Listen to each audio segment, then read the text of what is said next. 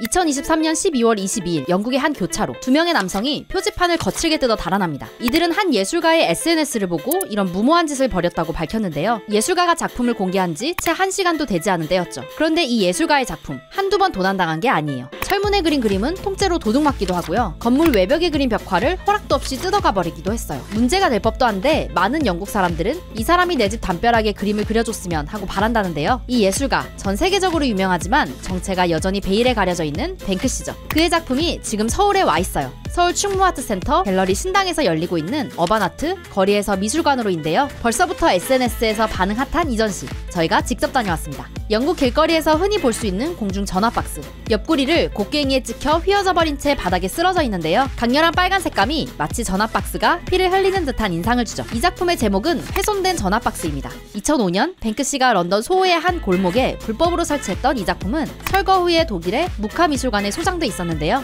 이 작품이 20년 만에 처음으로 서울에서 공개되는 거예요. 사실 조금 의아하실 수도 있어요. 이거 그냥 공공기물 훼손 아닌가? 이게 어떻게 예술작품이라는 거지? 하고 말이죠. 이처럼 뱅크시의 작품 활동은 불법과 예술의 경계선을 넘나드는데요. 그 자체로 사회적 정치적 메시지를 담고 있어 보는 사람으로 하여금 경각심을 갖게 합니다. 뿐만 아니라 특유의 유머 덕분에 미술관이나 갤러리에서는 느낄 수 없는 통쾌함을 느낄 수 있죠. 이렇게 도시를 캔버스 삼아 펼쳐지는 예술 장르를 urban art라고 하는데요. 예측하지 못한 순간에 도시의 일부를 점거해 그래피티나 벽화, 포스터 등 다양한 모습으로 도시의 풍경을 새롭게 바꾸죠. 때문에 작품이 그려진 장소에서 아주 잠시 동안만 볼 수 있는 게 특징이에요. 하지만 이번 전시는 바로 그렇게 세계 각지의 거리에서만 볼 수 있던 작품들을 미술관으로 가져왔다는 점에서 매우 특별합니다. 이번 전시에서는 뱅크시부터 카우스까지 urban art를 대표하는 세계적인 예술가 10명의 작품도 함께 만나볼 수 있는데요. 작품이 하나같이 개성있고 재밌습니다. 이 작품 한번 보실까요? 가로 약 2m에 높이 1.4m. 거대한 사이즈의 이 작품은 인베이더의 문입니다. 작가의 이름부터가 아주 독특한데요.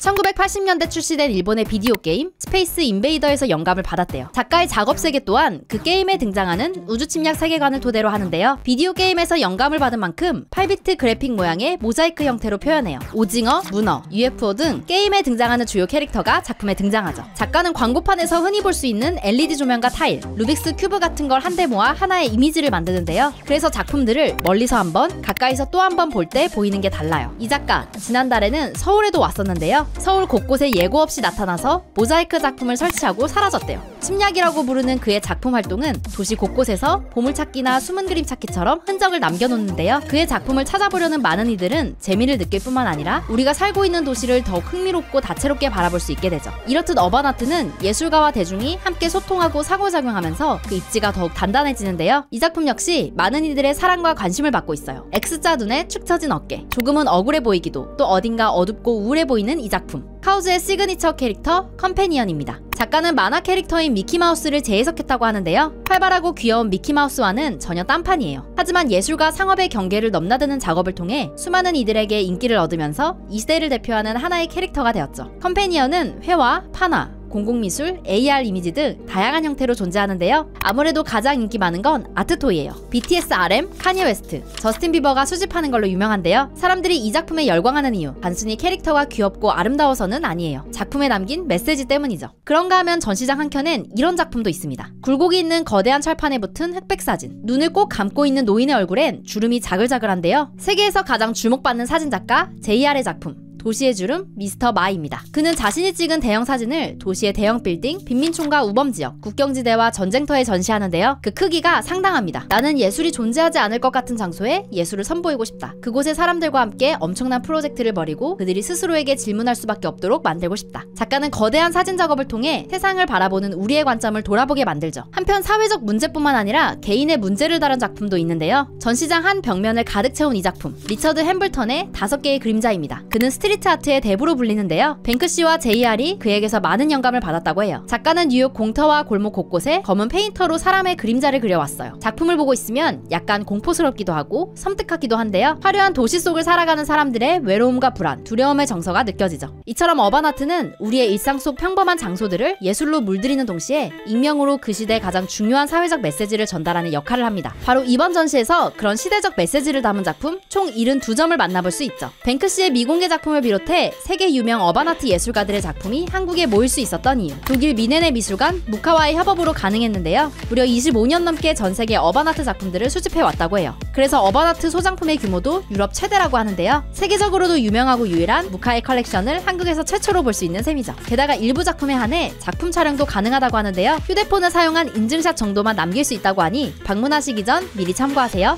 이번 전시를 더 알차게 볼 수 있는 꿀팁 하나 더 알려드릴게요. 네이버 바이브 앱을 설치하면 무료로 오디오 가이드를 들을 수 있는데요. 작품에 담긴 의미를 알 때 더 흥미로운 감상이 가능한 만큼 전시장 방문하시면 꼭 활용해보세요. 이게 끝이 아닙니다. 이번 전시 티켓은 저희 널 위한 구구 티켓 에서 특별 할인가로 만나보실 수 있는데요. 궁금하신 분들은 영상 아래 더보기란과 고정 댓글을 참고해주세요. 이번 전시는 내년 2월 2일까지 충무아트센터 갤러리 신당에서 펼쳐집니다. 무카에서 세계 최초로 공개하는 뱅크시의 작품을 만날 수 있고 어바나트를 거리에서 미술관으로 이끈 대표 작가와 작품들을 선보이는 이번 전시. 관심 있으신 분들은 이번 전시 놓치지 마세요.